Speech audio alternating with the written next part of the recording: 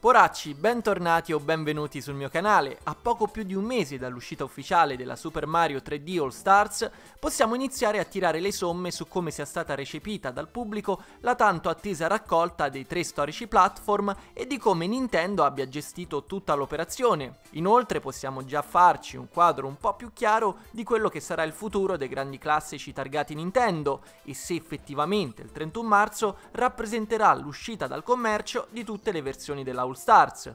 Prima di iniziare vi ricordo che stasera dalle 21.30 mi troverete in live sul sito Viola per una serata tema Smash, dove giocherò con tutti voi. Vi lascio il link in descrizione e come al solito vi invito a mettere un like al video e a iscrivervi al canale attivando la campanella delle porotifiche per essere sicuri di non perdervi i miei prossimi video. Iniziamo!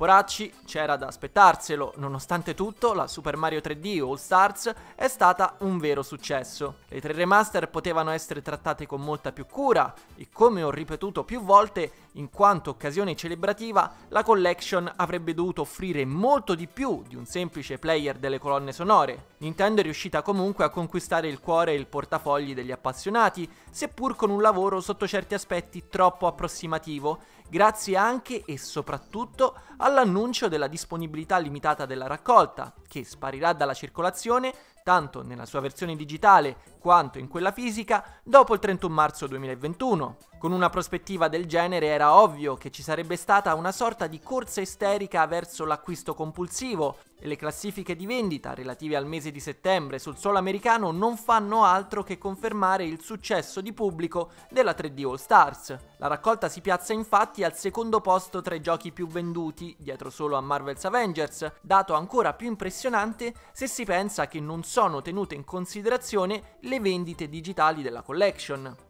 Si tratta insomma di un vero successo, il decimo gioco più venduto del 2020, senza contare che probabilmente si tratta del miglior mese di apertura mai realizzato da un episodio di Mario in 3D. Quindi, tra critiche più o meno immotivate e fanbase scandalizzate, alla fine tutti, ma proprio tutti, hanno acquistato il gioco senza pensarci su due volte, il che alla fine non può che essere un risultato positivo sia per Nintendo che per noi fan. Un successo del genere non può che invogliare l'azienda di Kyoto a riproporre, tramite operazioni simili, altri grandi classici del suo catalogo passato, e ce ne sono di titoli da ritirare fuori, ma soprattutto, come iniziano ad ipotizzare analisti del settore di un certo calibro come Matt Piscatella, è sempre più improbabile che dopo il 31 marzo i giochi spariscano definitivamente dal commercio. Certo, si parla pur sempre di Nintendo e la sorpresa è comunque dietro l'angolo, ma è difficile pensare che la grande N si privi di una fonte di introiti del genere ed è facile immaginare che Super Mario 64, Sunshine e Galaxy ritornino su Switch sotto una forma diversa che non sia quella della collection.